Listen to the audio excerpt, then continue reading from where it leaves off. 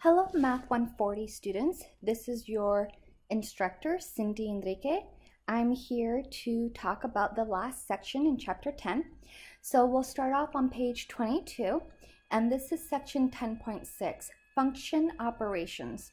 So we're going to learn how to add, subtract, multiply, and divide functions together. So when we have the sum of functions f plus g of x, what that means is that it's adding the two functions f and g together with respect to x. So for example, we have f of x is equal to 2x plus 1 and g of x is equal to 7x plus 3. So we want to find the following. We want to find f plus g of x. So in reality, I'm going to rewrite this as f of x plus my g of x. And for part B, I'm going to rewrite this as well as f of x minus, and I'm going to make sure that I make this very obvious that you are subtracting the entire function g of x. Because a lot of people, when they do the subtraction, they just do it to the first thing that's behind the subtraction, not the entire function. And the last thing I have is f of negative 4 minus g of negative 4. Okay, so let's go ahead and try these problems out. So for part A, I have my f of x plus my g of x. So my f function that I have, that is the 2x plus 1. And it is being added by my g function. That g function is that 7x plus 3. So when I add this together, I'm going to get that this is equal to, well, I can rewrite this as 2x plus 7x plus 1 plus 3. So now I have my 7 plus 2, which is 9x, and I have 1 plus 3, which is a positive 4. So now I can say without a doubt that my f of x plus my g of x is equal to 9x plus 4. So that is going to be my answer for part A. Now for part B,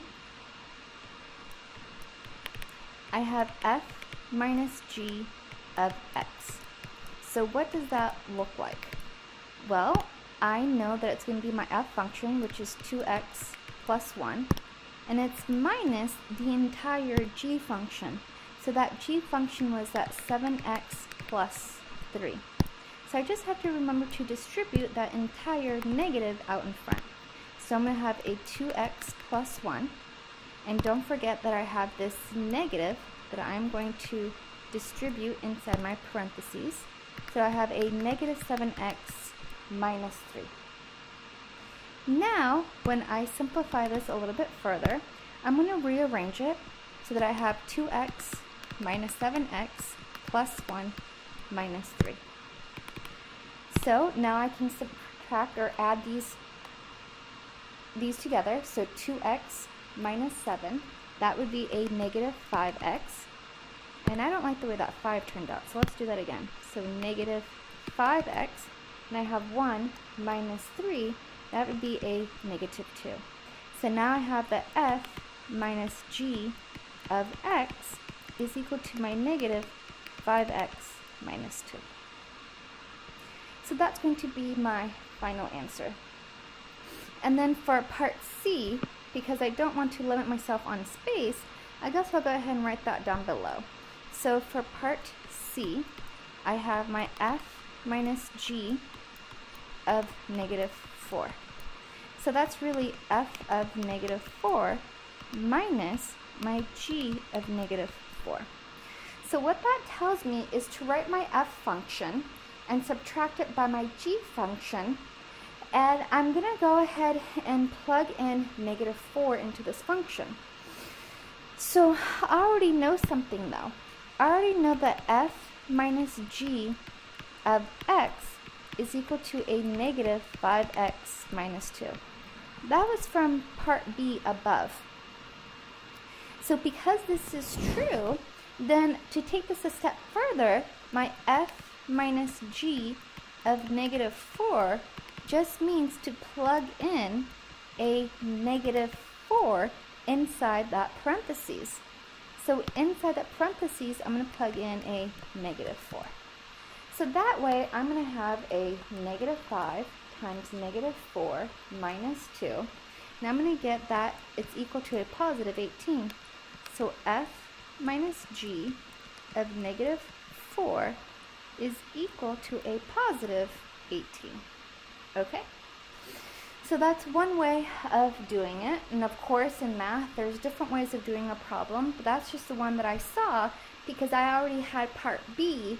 So I was just able to go ahead and just plug in that negative 4 into that equation that I had. Okay, so now we have some practice problems. So this is, I know, everybody's favorite part, right? So this is where you're going to press pause on your device, whatever you're listening to, and you guys are going to work these problems out on your own. Okay? So try to do these by yourself. Press pause.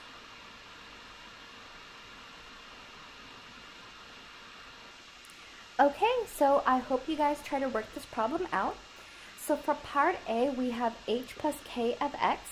So we just add those two functions together and we get 2x squared minus 5x minus 9. For part B, we have h minus k of x.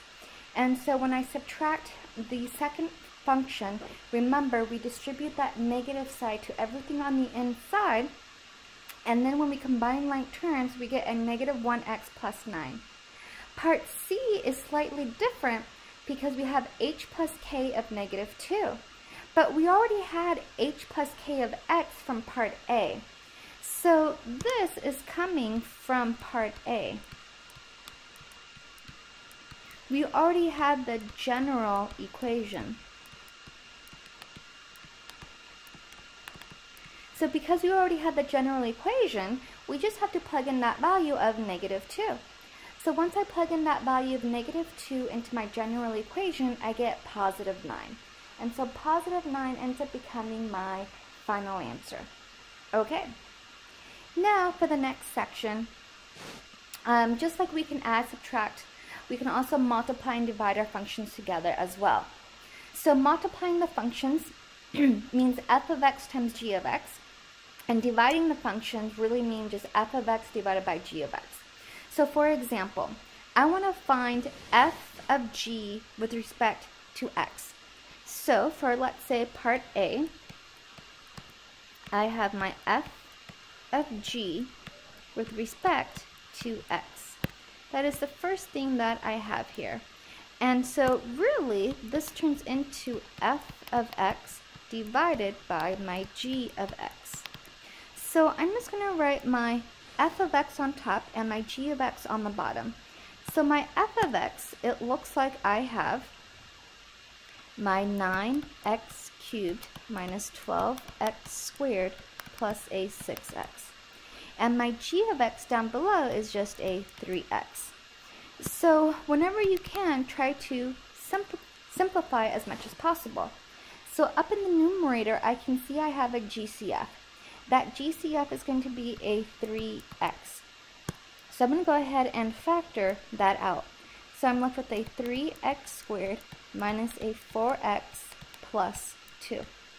And down at the bottom, I have a 3x. Well, look at that. Because my GCF in the numerator was 3x, and my denominator is 3x, well, it tells me that I can actually cancel those out. So, what I'm left with is I'm going to have this 3x squared minus 4x plus 2 over 1. So I can say that my f divided by g with respect to x is equal to my 3x squared minus 4x plus 2. I don't necessarily need that 1 in the denominator for my final answer. Okay? And we also have our multiplication. So we have f times g of x. So that is what we're trying to find. So, okay, so we have f times g with respect to x. Well, that's the same as saying my function f times my function g. So my function f, I have 3x minus 4. It's being multiplied by my g function, which is that x plus 5. So then from here, what I would do, I would go ahead and FOIL this out. So when I FOIL this out, I'm going to have a 3x squared, a positive 15x, a negative 4x, and a negative 20. So 3x squared, and if I have a 15 minus 4, that gives me a positive 11x minus 20.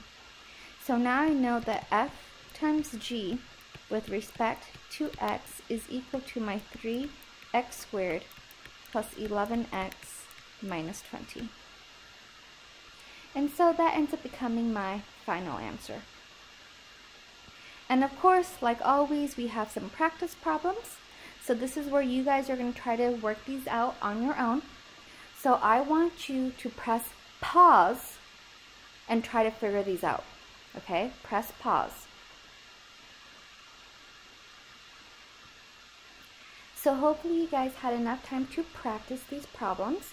So for practice problem number one, you are multiplying f of x times g of x. And when I uh, do that, I get a negative 2x squared minus 8x. And for practice problem number two, we are dividing f of x by g of x. And I tried to factor, and I realized it actually doesn't factor. So there's nothing that's going to be canceling out. So that is going to be your final answer. Okay? Well, I hope that helps. And that is, yep, that is the end of the lecture. So if you guys have any questions, please feel free to email me. All right, see you next chapter.